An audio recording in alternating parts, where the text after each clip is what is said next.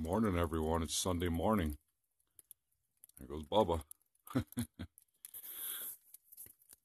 and it's snowing out here in Vermont, southern Vermont. You can see. And then I got snow on my flag. See how it's coming down. Silo's full.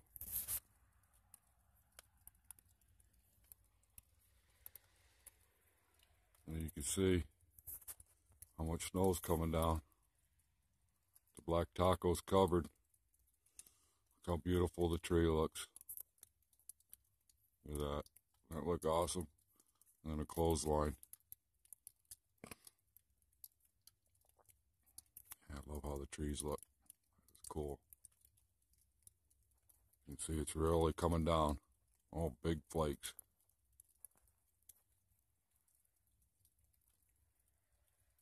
Big flakes going on. There's five to ten inches today. Love a good snowstorm. All right, that's going to do it. Taking Lisa and Sarah out today, and